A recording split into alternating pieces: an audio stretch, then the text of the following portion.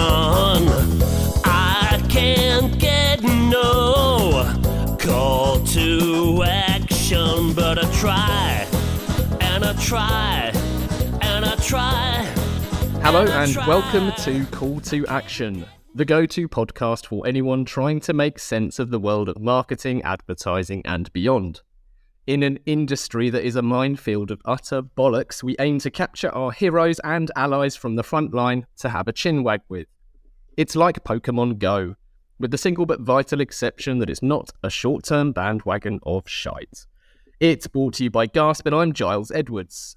Today I've caught Orlando Wood, the creative superbrain and chief innovation officer of System One Group. Orlando is dead set on delving deep into the links between advertising, psychology, and the creative arts. His books Lemon and Look Out dig into the change in creative style in today's technologically disrupted world and, importantly, what that's done to advertising effectiveness.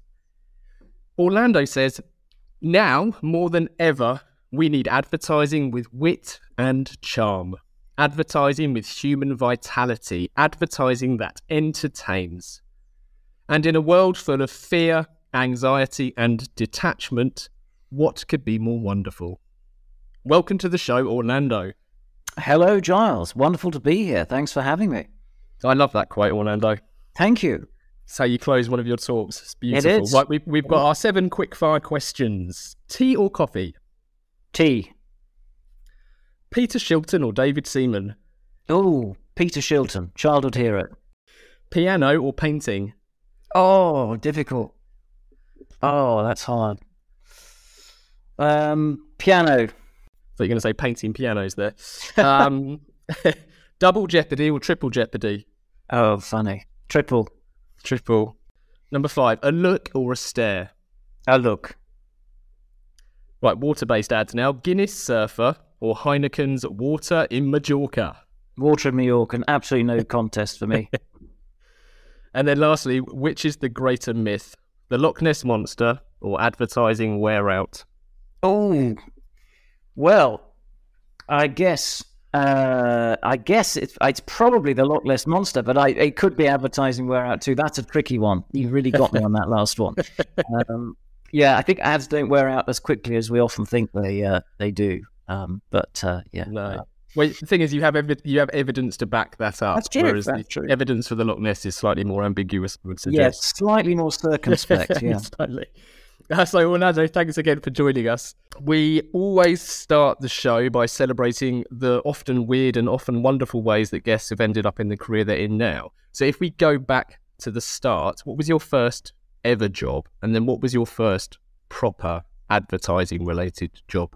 Well, I, I suppose my the, my first paid uh, job was as um, I, I was a student. I studied French and German. I was in Paris, and I got a job um, doing interviews on the Eurostar.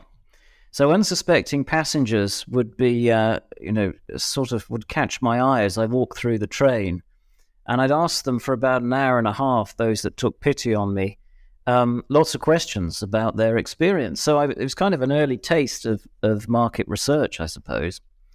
Um, and then uh, I kind of, how did I, I suppose that the, the first proper salary job was doing um, some work after I left uh, university. I did a, I did a master's in um, French, 17th century French literature, looking at changes in the style of poetry, I suppose, and changes in culture over a long period of time in the 17th century through the lens of a, a lesser known chronicler and uh, scurrilous stories, gossip, that kind of thing. It occurred to me later, of course, that this is what I ended up doing in advertising. Um, but yeah, I kind of I le- uh, when I left university, I, I worked briefly for a com- well for a, an organisation called the Birmingham Marketing Partnership. I'm from Birmingham. You may not know that, uh, and I uh, it was one of the, probably one of the required the skills really of Bill Bernbach.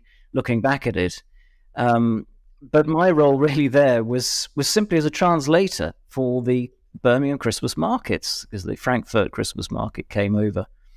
to Birmingham every uh, every year, and um, I was translating all sorts of strange things uh, for the for the guys on the market. So, so yes, that was that, that was my first uh, sort of salary job, and then I I got into uh, marketing and and well market research in particular, and uh, and gradually through really new product development research, I ended up finding my way towards advertising research, towards you know something that's always really fascinated me, uh, communication, and uh, I suppose the art of persuasion. And had that always fascinated you in terms of the marketing Yeah. prior to doing your masters? Yeah, I had. I'd always always been interested in advertising. I remember um, looking at and laughing at advertising. Um, and my dad was always interested in it too. Um, and we'd, uh, you know, we'd, we'd always appreciate a very good uh, ad. And uh, you know, there is there is a kind of a kind of art to it in a way.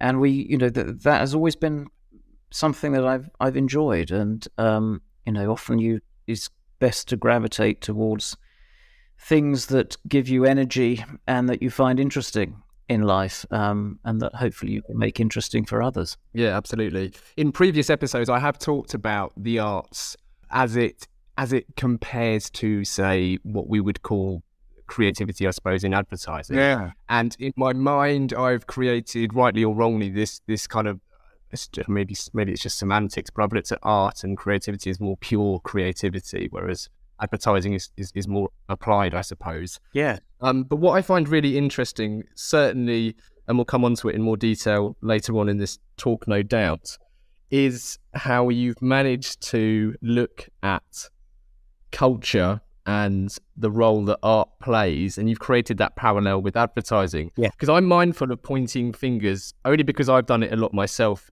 in the past and pointed fingers at the rise of, say, digital analytics, and it's kind of taken our eye off the ball.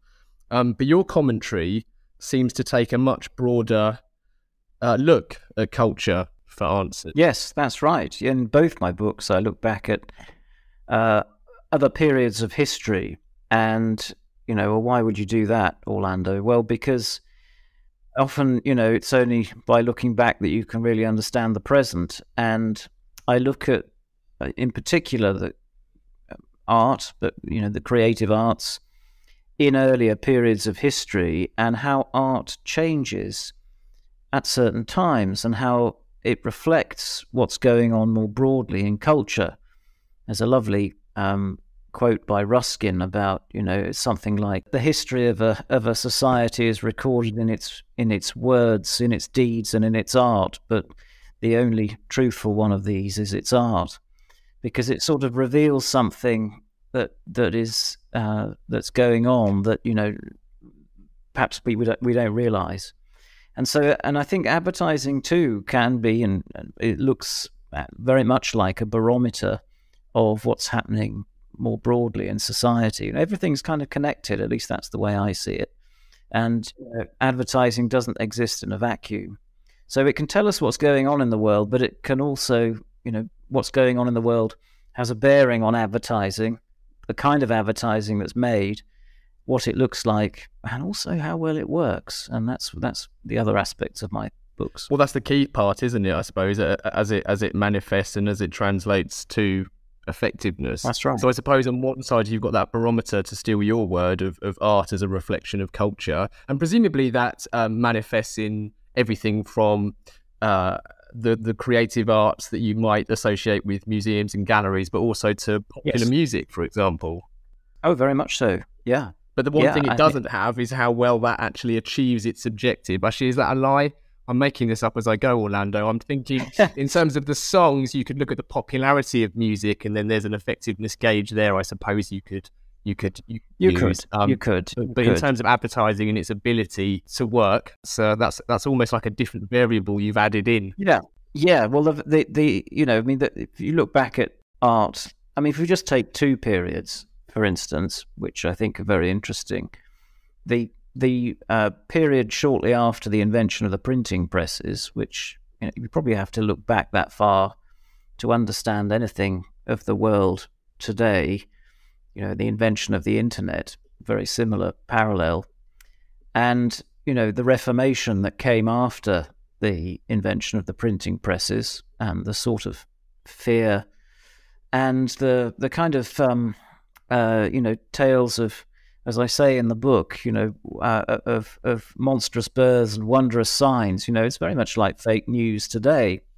And this, uh, what happened in art was everything tended to go a bit flat, and you got the pointing finger, and you got the stare, and you got a fixity and a solemnity and a stasis, and um, you know the word started to become prominent, you know, in art, more prominent than the actual, you know, the images it was as if the, the images were only really there to serve the words that were on the surface of the canvas. Mm. That looks very much like a lot of advertising today. And when you look back at what happened after uh, the Reformation, you get this, um, I suppose, the Counter Reformation. And what happened was the, I suppose, the, the Catholic Church lent on the living and showing the living and relationships between people and stories and this sort of um, you see it in the work of Caravaggio. You know the the people connecting, ordinary people connecting. It was a popular art that then sort of swept really across uh, Europe over the next hundred years or so, and gave us some really wonderful uh, art, and art that connected at a very deep, a meaningful, personal level and uh, you know that's I think there are many lessons there for how we connect, you know, as as advertisers uh, with the general public. I'm only now, as you say that, Orlando, realizing why in the magnificent pool of guests that we've welcomed onto Call to Action, there are a significant portion of them who have studied history. That's interesting. I'm only now, perhaps belatedly, realizing how strong that parallel is or can be with marketing. Absolutely. Uh, you know, I mean, those who uh, study history, I think, hopefully tend to have a, you know, a broader appreciation of, of things and, um, you know, like like to understand it, to know what, what's going on at the moment. I think that's really important for any strategist or, or planner, is to be able to draw on that um, and to use it and, and use it to, to communicate, to tell stories, and to you know to hopefully point to to a uh, you know a, a better way of doing things. I'm hoping that this might work as a nice nod into chatting briefly about Lemon, but I wonder what it was about that um, historian in you that led you to not, for example, specialize and become an art historian, but actually start becoming more of an advertising historian. And I wonder if it is as simple as, as you and I think you said your dad would, would enjoy good ads on the telly growing up. Yeah, it was it was that really. I, I mean, you know, I I've always liked uh, drawing. I've always liked art, and in fact, I do paint, as your earlier question, you know, suggested. Um, but but I suppose that's only really developed in me in recent years and so it wasn't it wasn't so much a love of that that got me into advertising research. Um, it's just that I think it's useful to be able to look at images because an image can tell you something and and explain something in very short order that lots of words you know, can't really. And so I think it's important to look at uh, the visual arts to try to explain, you know, what we're trying, what we're really trying to say here. So yes, it's uh, it's something that, that I think is just useful and um, also elevates the craft of advertising. Absolutely. So can you summarize? And I'm, I'm always mindful of bringing people on who have uh, published great works and great studies of asking them to summarize something too briefly, and then it's just been in a, a completely unfair request. But but your book Lemon, as the cover note suggests, discusses about how what was once a dazzling art form has become more of a, a, dreary science. Yeah. So can you give me a summary of, of, of how that changed and why that changed or why you conclude it's changed? Well, I suppose in the book I look at, uh, I, I start by looking at, at, at what Peter Field observed, really, which was this decline in advertising effectiveness, in creative effectiveness over the last 15, 20 years. And the, the rest of the book really is devoted to trying to understand, you know, what, why is this? And I look at things from a creative perspective. And I also look at things uh, drawing on the work of a neuroscientist, um, he's a philosopher too, really, psychologist called Iain McGilchrist, who looks at the uh, way that the brain pays attention to the world. In fact, my books really are, I suppose, describe the um, the intersection between between creativity and attention and the nature of our attention. But anyway, in this book, I draw on Iain's work, which we can perhaps come on to in a moment, to explain and to show how advertising has become quite flat and mechanistic, reliant on the word on the screen, uh, has become a bit divorced from time and place. So we often don't know where ads are set, when they're set. Uh, they've lost a sense of lived time. So you often see short, sharp cuts. And you uh, get a, a very rhythmic kind of set of images put before you, often against a rhythmic soundtrack. And it all feels and looks a bit self conscious, as if it's trying a bit too hard. Look at me, look at me. Um, and this is quite different from the style of advertising that we used to see a great deal more of. I mean, it still exists, of course, but we used to see advertising that had people in a defined location, often with a sense of depth. Um, and you have people talking to each other in dialogue, communicating, like little sketches almost, often with humor, um, with metaphor, uh, with music, as opposed to simple rhythmic soundtracks, and uh, all unfolding in live time with what I might describe as character, incident, and place. And that kind of advertising you see much less of today and it struck me, you know, one evening when I was watching a TV ad break before I wrote Lemon, having read Iain McGilchrist's work and been reflecting on it and thinking about it, more of which in a moment, um, that it corresponded with his theories of how the brain pays attention to the world. And uh, he describes how the left hemisphere of the brain, and by the way, they're both involved in all types of cognitive function. It's not that one does uh, something and the other one does something different. They both do important things mm-hmm. all the time. It's just they have different modes of attention, different ways of looking at the world. And he describes how the left hemisphere tends to flatten things and how it doesn't, uh, it, it's not very good with people, with lived time it's very goal orientated. It likes to abstract things. And you see this quite a lot in advertising today. So we're really close up to things, just the hands, just the lips, just the mouth, perhaps. And it also it, it can't really understand music, only very basic rhythm. It's pretty literal in the way that it thinks. It thinks in terms of linear cause and effect. Um, it's pretty dogmatic as well. Anger lateralizes to the left hemisphere.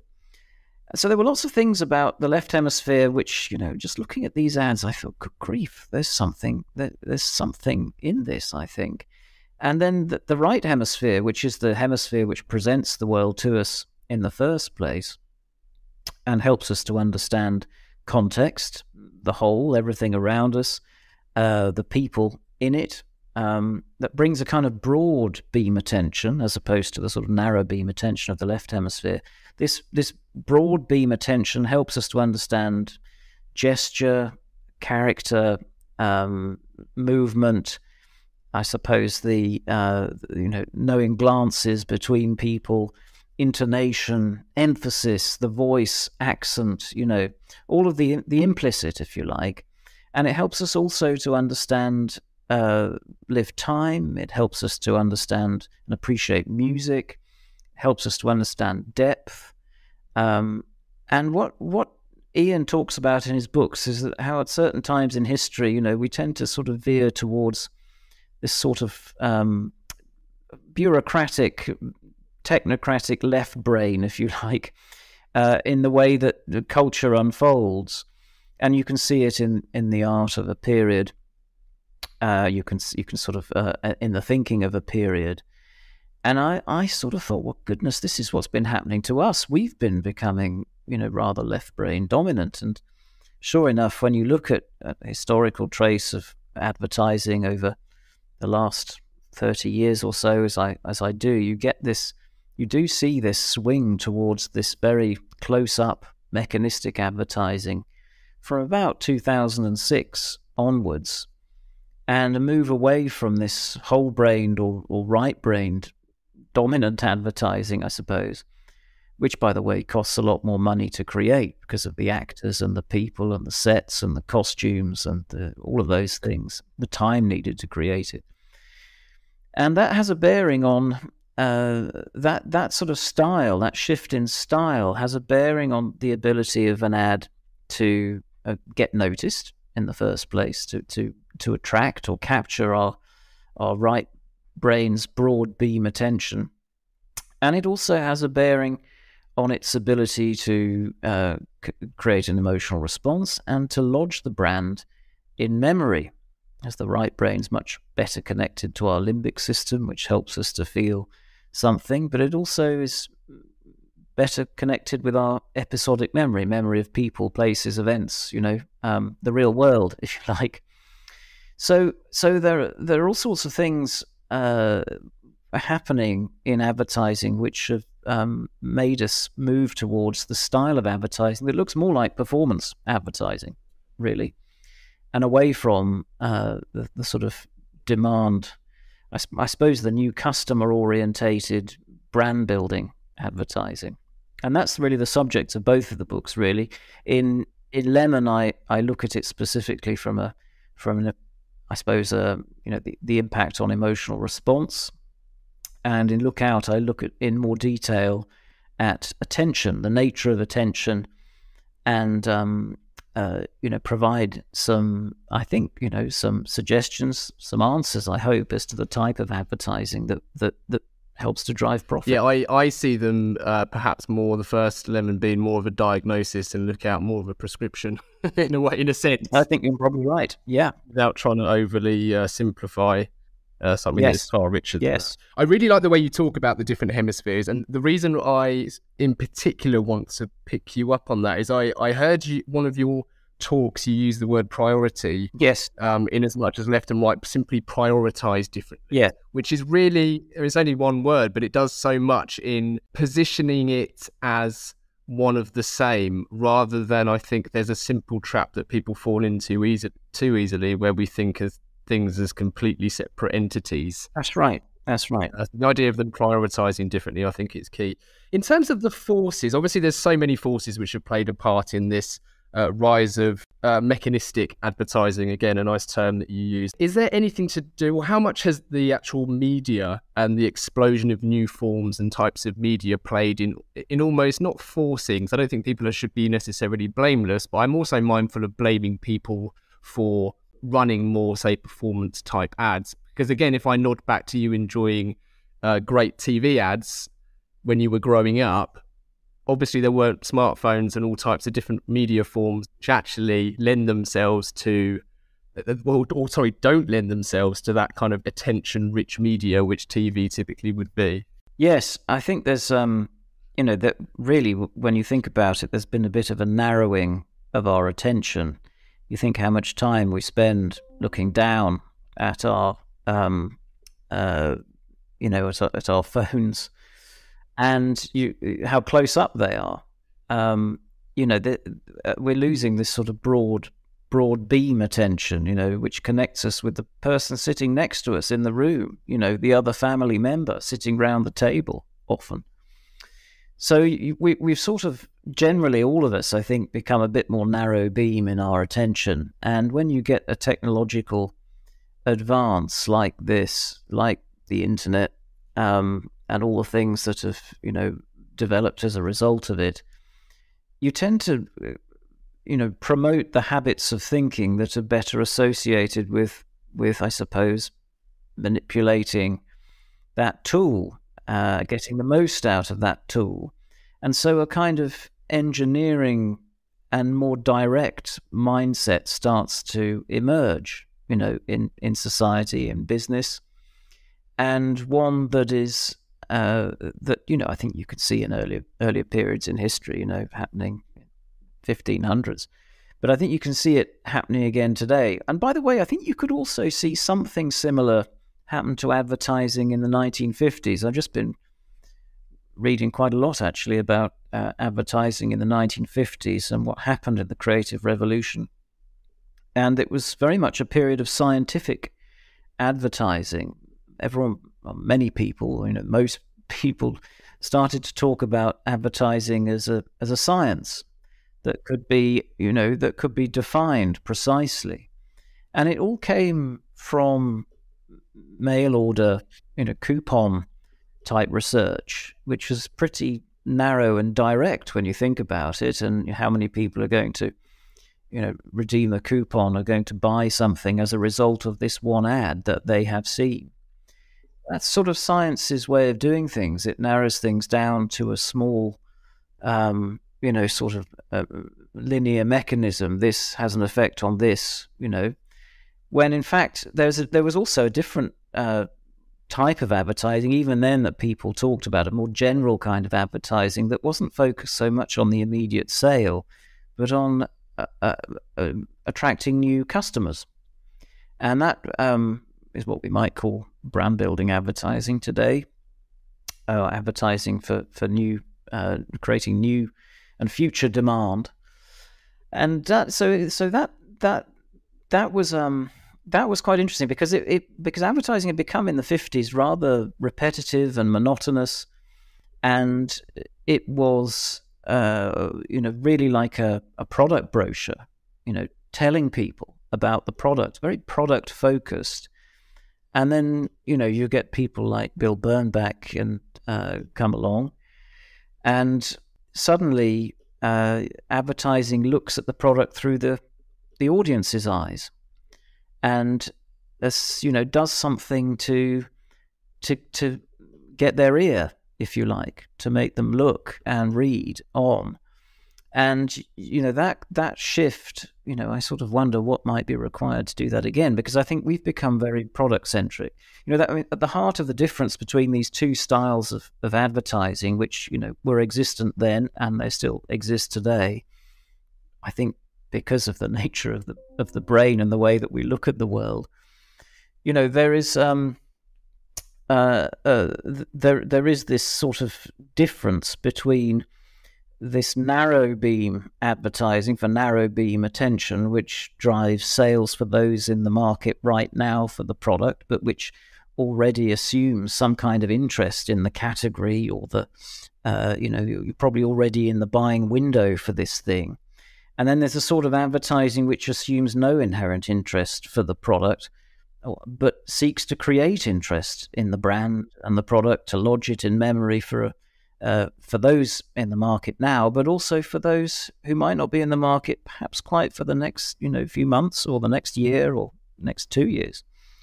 So that that the different way of thinking about advertising, the broad and the broad beam attention I talk about in Look Out the brand building advertising, and then this narrow beam, narrow cast uh, advertising for the immediate sale.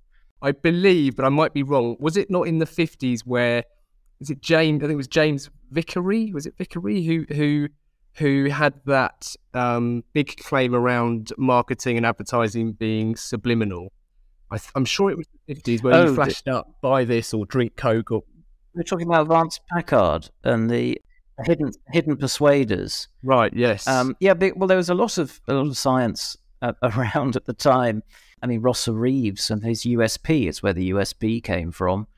Believed in you know scientific advertising and worked with scientists to arrive at a, a, a unique selling proposition for brands that he worked on.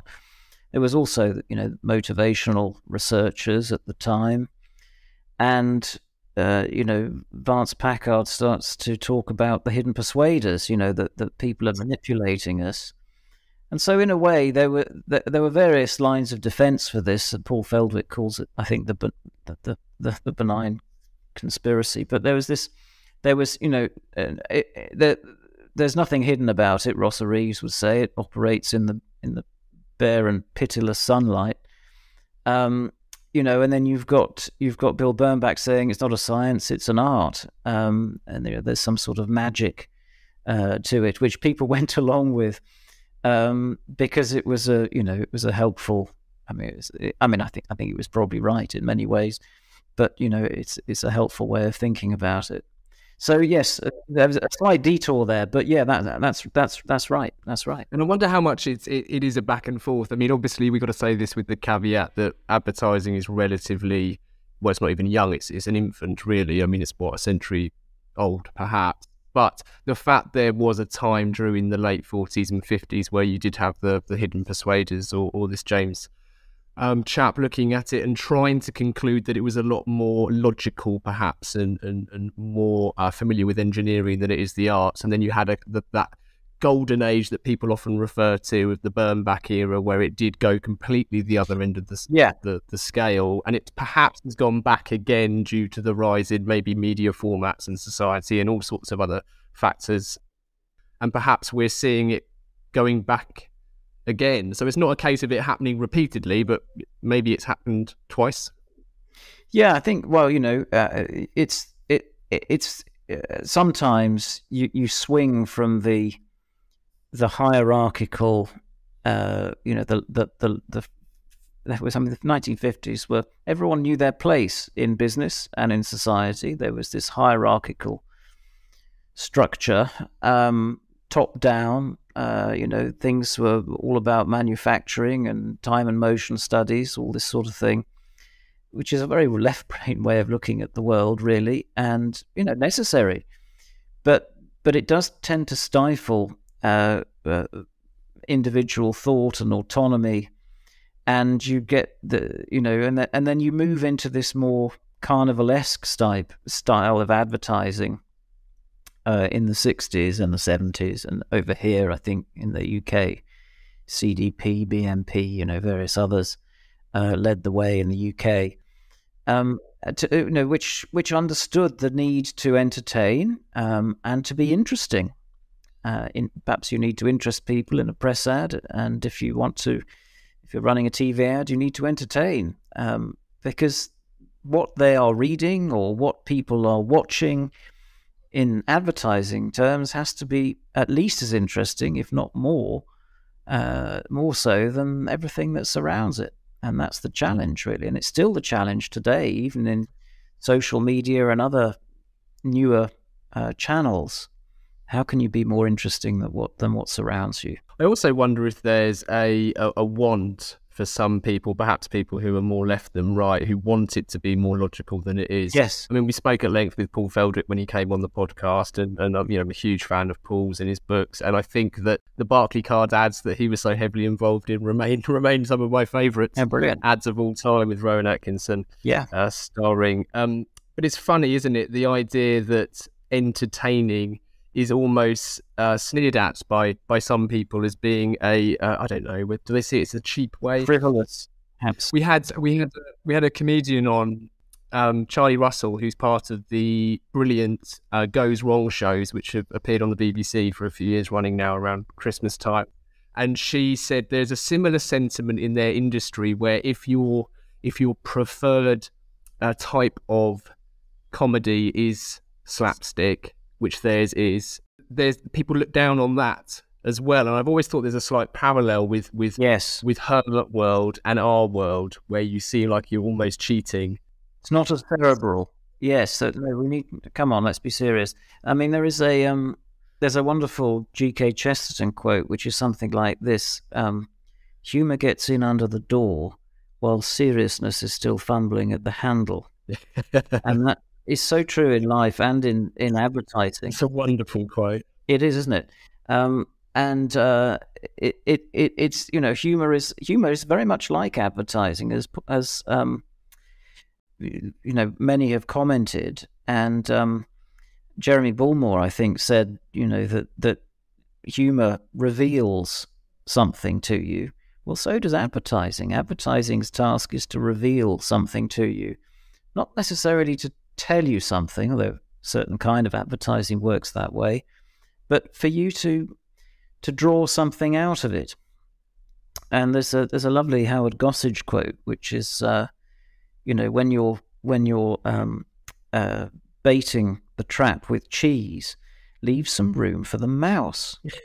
because uh, you know you've got to let the audience do something themselves, fill in the gaps, to sort of watch what's happening and interpret what they're seeing, and to make sense of the whole. You know, I think that's a really important lesson, particularly for the the type of advertising we call as brand building advertising, but the sort of advertising that that actually results in the greatest profit growth, more likelihood to greater likelihood to, to drive profit, share gain, price reductions in price sensitivity, all those really good things. Uh, it requires someone to you know the audience to take take on board uh, what's going on and and to you know sort of understand it and and and want and want to be part of it. You have to think, as Jeremy Bullmore said, of your audience, you know, as an accomplice rather than someone you're communicating at. Yes. Yeah. Yeah, absolutely. We're talking about um, studying history. There's um, the late great Jeremy Bullmore. I mean, I've, I've I've been long obsessed with that man's brain. Um, and I spoke about him uh, specifically when I spoke to Mark Ritson a few months ago, actually. And I did make the point that it surprises and probably depresses me in equal measure how many young practitioners of marketing I speak to who are, who, who aren't even familiar with his name. I mean, Howard Gossage has always had that issue, I suppose.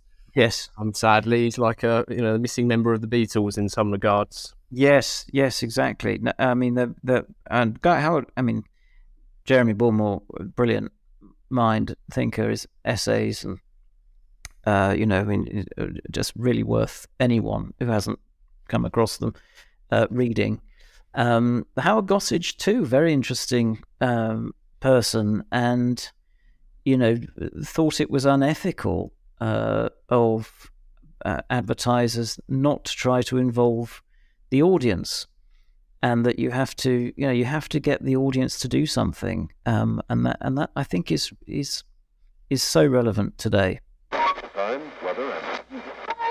We interrupt this podcast to announce that we will never interrupt this podcast with ads. Ads that awkwardly nudge you to contact the pod's host Giles Edwards on 01189 952 007. Only the other day, some pod listening companies did just that, calling for guidance on strategy and brand identity. But we're not asking you to do that. Nope. Anyway, back to the show. And finally, brand purpose. Let's talk a little bit about brand purpose. What a load of fucking nonsense brand purpose is, yeah? Oh, the godfather of marketing, Mark Ritson, telling it like it is. Not what we were after. Hang on. Absolutely. I'm slightly mindful of, of, of, time, Orlando, and I know that I would quite happily keep you for hours and hours, but I think I must uh, regretfully move on to listener questions. Please do. Please do. I um well we're on the subject of change in a, in in some respects and I've kind of hinted at the maybe the pendulum is swinging back. Um, and I hope it is. I, I, I it troubles me I won't lie it troubles me um, the fact that we've I've run a small independent agency for almost 14 years now and I I believe genuinely that I have seen change in that time. Um, but it does still trouble me that we are armed with so much wonderful evidence, yours included, but even going back to you know, the great um, Field and Binet and all sorts of luminaries in, in this industry who have been fighting the fight far better than I could. And I find it frustrating that that hasn't seemingly swung the pendulum further, further towards. Yes, because it's all there. The more we know about the and best, you know, uh, the less we seem to be doing uh, the, yeah. the right thing, as Paul Feldwick says. Right. Yeah. So, anyway, list of questions. So, asking the general public for their opinion, be it on Brexit or boat names, is notoriously fraught with danger, but that's not stopped us asking. So, as usual, we've got two for you, Orlando, starting with Rebecca. Um, it's along the similar lines of, of what we've been discussing, but I'm, but I'm sure you might have more to elaborate. Rebecca says, Your book, Lemon, highlighted that advertising is facing a crisis of creativity. a few years on from writing it, has anything changed, and has it changed for better or for worse? Very difficult question. Um, in Look Out, I trace, you know, I, I continue the the analysis, and it seemed to be things seem to be getting worse, if anything, um, which is a very depressing notion. Um, but you know, I just sense, I just sense in conversations and some of the work that's that's emerging that maybe maybe things are you know maybe things aren't quite as as mechanistic as they were, and that you know some there are some you know some very encouraging signs I think, and certainly the people I speak to, uh, the marketeers I speak to, um, as well as as well as agencies, uh, seem very supportive and and and are very um, you know very keen to hear more about it. So uh, you know I'm I'm I'm hopeful. I'm hopeful. Yeah. But it is um it is tricky because I think that this way of thinking about communication doesn't come naturally, perhaps, to, in particular, uh, tech orientated companies, um, you know, where the, the, I suppose the, the product and the newness of the product is is absolutely central, and that you know that that if if if you know you, just, you simply by communicating that, um, you've done your job. And I think there is a, you know, there's um, a misunderstanding perhaps of what a brand is and what it does and why it's important. And that's a job that we, uh, you know, we need to keep keep doing. Yeah, good answer. I was only a couple of rows back at the Festival of Marketing for your talk with oh uh, yes, huge, huge friend of the show, Dr. Grace Kite. Yes, Grace, yes. And I'm I'm going to quote Grace here, not to try not to try and contradict you, although I'm mindful that this might come across that way. But, yeah. but I have a photo uh, of this particular moment and slide where she said, if, if if there ever was a crisis, it's over. Yes, um, I, I, I mean, we were we were both on stage to put a, a different point of view uh, from each other. I think. Yes. And um, Grace was uh, pointing to her own analysis of ROI and how that had been you know on the up uh, in recent years. Now I'm I'm I think it might be a little bit too early to put the flags out just yet. I was making the point that actually, if you focus on ROI, well, that you know, as as many others have said, ROI is a is a is you know shows you how efficient your advertising has been, and you know, leads you towards the sort of low hanging fruit, the here and now. And uh, it could be that, that, as I said, we're both right. I mean, might both be wrong, or one of us might be wrong. But but that you know that she uh, she's if she if you're looking at ROI as as your measure, then it could well be that you're prioritizing uh, you know shorter term returns and, eh, you know, with the rise in performance and left brain dominant advertising, it could be that ROI is improving. Um, but, you know, when you look at longer term measures, share of market gain, you know, uh, relative to extra share of voice and what you'd expect to see, as Peter Field points out, these broader measures on you know the, the ability of advertising to grow your share as opposed to just its ability to harvest sales you know this is this is these are different things. And that that is pointing to a more alarming picture yeah very well clarified as well question two is actually from gasp's newest signing uh, john john lyons ah yes very good uh, he, he got a question in. So he John says, I love the way Orlando describes adverts, more like an art historian describing one of the great paintings. Go figure, John. that makes sense now. Uh, so, what is your favourite painting, and how would you describe his, which is Starry Night by Vincent van Gogh? Oh gosh, wow. Um, well, let me try and try and tackle mine first, which is very difficult. Um, I think I might go for um, Caspar David Friedrich's The Wanderer, which is in Lemon actually, which is just the the back of this uh, man standing on the top of a mountain, looking out, and there is a uh, there are sort of mists on the mountain tops, and there's just a sense of being kind of uh, uh, connected with the world, but also um, you know there's a sort of sense of awe and wonder to the whole thing, which is very much of the romantic period, depth, height, um, you know, the sort of visual, visual, visually indistinct. Think of you know any Turner and uh, painting, which is very interesting to the I think to the right hemisphere. But it's something that that you know I I think I particularly appreciate. Um, so that would be my uh, choice, although there are many many others I could go for. Is that why this particular painting got a full page printer? I'm just looking at. yeah, well, probably. Probably, yeah, you've probably got it there. I'm looking at it now. You know, the, the also the, the romantic period was one where the artist was the hero. Um, you know, it was a, it was sort of, um, I, suppose, a bit like the what creatives became in the 1960s. Um, you know, there, there's something, there's something, you know, very romantic. I mean, defines romanticism really that that painting. So, so very, it's very interesting. So, uh, Starry Night. Well, that's a very good question.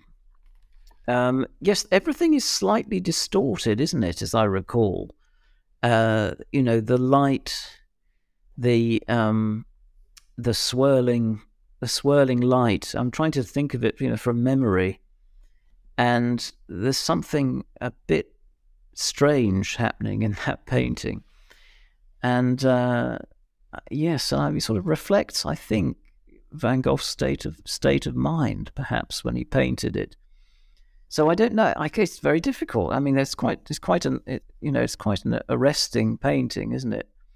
But I can't. I, am not. I think I'd probably have to have a proper look at it to have it to, to um to remind myself. But uh, but yeah, I can I can see why it's appealing. Yes, I didn't Leo Burnett build a a, a room based on Starry Night for you know for, I think they did. Yeah, I think, they, I think did. they did. I think they did. It's it's funny actually. I wonder, and again, I could be way off here, Orlando, but I wonder if art critics, or certainly criticism that art often faces, is also a good example of left and right hemisphere. Because yeah, which is I I could have cut a shark in half and suspended it in glass. It's probably a comment that's been said a few times, and the fact is, well, you probably couldn't, and you didn't. yes, that's well, that's the main difference, isn't it? Yeah. Um, I think there is a there is a with critics of film or of art. Uh, going back to our earlier conversation, actually, there is this need to sort of um, post rationalize things, and and there is a there is a, a, a kind of a preference and the prioritization of the cerebral over things that uh, make you feel something. I think you see it in film critics uh, in particular, uh, uh, possibly even in music criticism as well. But there is this this uh, this sort of more analytical mind um, and a post rationalizing sort of justification mind that that can somehow that, that I think you probably you might also controversially see it. He said um, in awards advertising awards as well um, you know that the the, the humorous um, is ignored, uh, uh, but you know actually it's much more difficult to make something that's popular than it is to make something that only appeals to a very narrow proportion of the population. Um, and I think that the, tr- the the trick and the responsibility is, as uh, I think Sir Huw Wheldon said, who was the uh, MD of the BBC, head of you know programming and all those things in the 60s and 70s, is to make the good popular and the popular good. um, and that is uh, that's the challenge, uh, I think. Yeah, another great quote. and the final part of the interview, then Orlando, is our four pertinent poses that we put to all of our guests. Uh, number one being, what advice would you give to your younger self? Oh goodness. Well, yeah, I think you probably have to figure things out for yourself. But if I were if I were to go back, I would probably say, go where you find the energy and and spend the time with the people who give you the energy. Um, be yourself, only more so, um, because there's a lovely Bernbach quote actually, which is um, to succeed, an ad, or a person or a product for that matter, must establish its own unique personality, or it will never stand out. So be yourself, only more so. Um, and then also just, you know, remember that, as he also said, by the way, nobody's perfect and nobody will ever believe you if you claim to be. So I think some, you know, they're, they're worth worth bearing in mind. yeah, yeah, absolutely. Be yourself only more so is brilliant, and actually, I mean, we might have had something along similar lines before, but I, we certainly haven't had that come up. And it's immediately reminded me of a course, an IPA course I did about eight years ago, and that was def- that definitely came up in the course, and it was all about how to um, what was it about? It was it, it, it, was it was loosely about leading, being a leader within a within yeah. a business, um, which. Yes, I mean, you, you know, we're all the sum of our experiences, aren't we? And our and our uh, personality, and I think you have to you have to draw on that uh, to bring people with you in your communication style, in uh, in all that you do. Yes, yeah, well said, well said. Uh, number two, if you could banish one thing from the industry, what would it be and why? Uh, I would say uh, the word content. The word content, because I think it uh, demeans and uh, it it reduces what uh, reduces the craft of advertising, and it makes it and it prioritizes the pipe work that surrounds the content. It's just stuff you put through the pipes, you know. So I would probably ban that term because uh, I think it, it's it's not it's not very helpful. no, not at all. That's brilliant. Prioritizes the pipe work. I'm stealing that, Orlando. The other the other point on that I've stolen from the great. Um, I suppose he's quite marmite in a way, but I, I really admire Bob Hoffman. Oh yeah, and he wrote a few years ago about let's just call content shit. And his point was, in you know, in particularly typically uh, blunt Bob form, but his point was was really smart. And he said if if the, if there's something great, uh, whether it's um, the Wanderer Starry Night, whatever it might be. We call yeah. it a painting. If there's a yeah. you know great film, we call it a movie.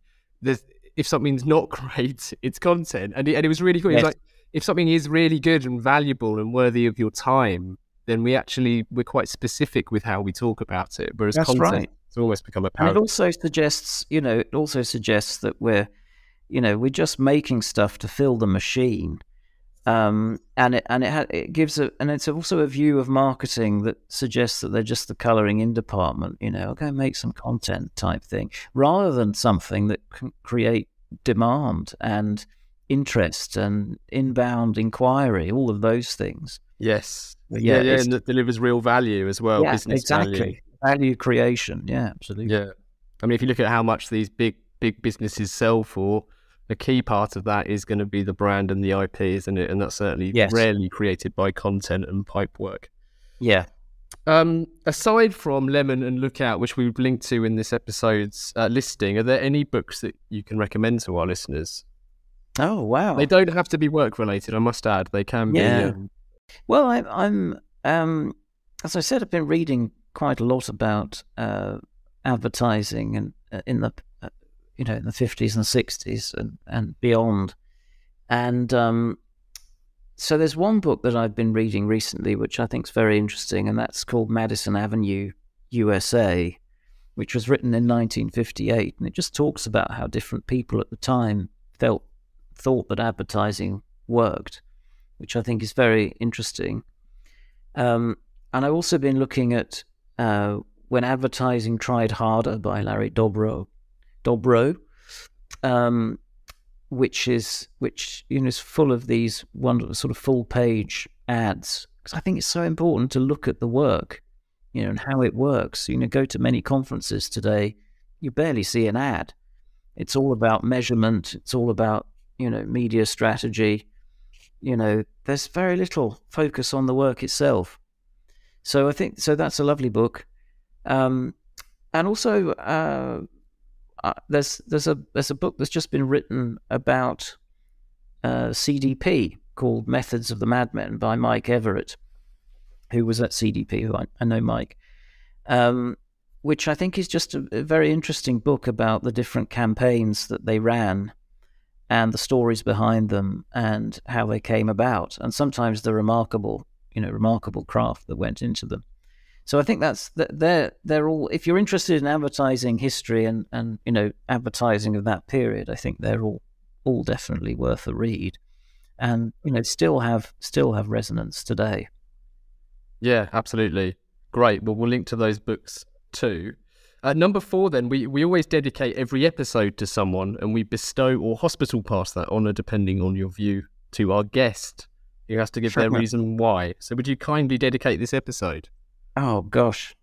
Well, there are so many people who've, um, you know, shown support and encouragement and to me. It's really difficult, this one. And, uh, but I think it's going to be to someone who, uh, you know, I've kind of, my career has been intertwined with his for many years, and um, for 18 years we've worked together. I think it would be to John Kearon, who uh, first employed me at his company, um, founder of System One. This is going to sound very sycophantic, but you know, I genuinely have learned so much from his way of approaching problems, uh, situations, people, and he's just been hugely supportive to me um, throughout. So um, that's my. I dedicate this to John if he's listening. Um, uh, it's to you, John. There you go. Brilliant. Well, this episode is very proudly dedicated to John Kearon. Fantastic. So, as a final call to action, everything we've discussed will be listed, or is listed, I should say. Um, we will include links to Madison Avenue USA, to advertising tried harder, methods of the madmen, of course, Lemon and Look Out, which Orlando tells me um, the man to thank for its beautiful aesthetic is a, is a man called Gr- Grant Morrison. That's right. He was the designer, yes, and and, and the covers were done by um, by Adrian Holmes and John O'Driscoll. Um, right. So yeah, yeah. It was a many, many, many job, many people on the on the job. oh, no, no doubt, no doubt. Well, it's good to it's good to give them all give them all a nod, but we do implore everybody to uh, to buy the books. Uh, thank you for well, thank you for bringing up so many wonderful names who I don't, I still think sadly don't get celebrated enough. So Howard Luck Gossage, the late great Jeremy Bullmore, Bill Bernbach.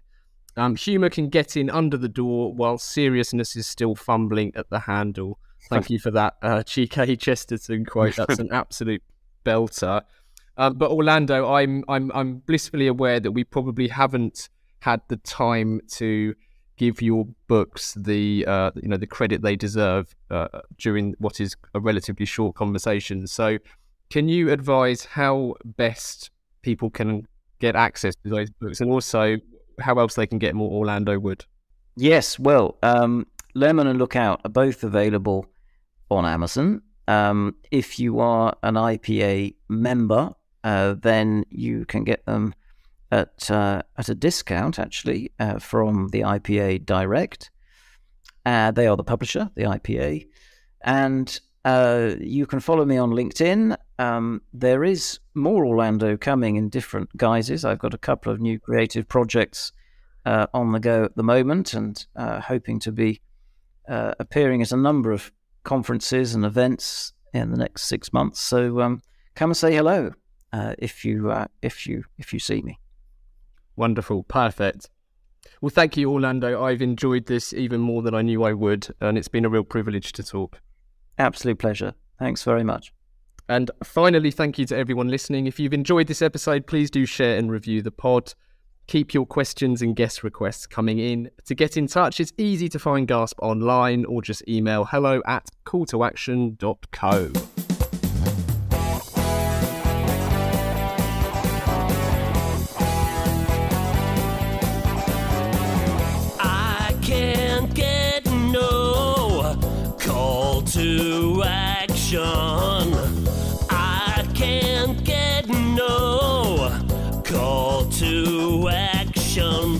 try and I try and I try and I try.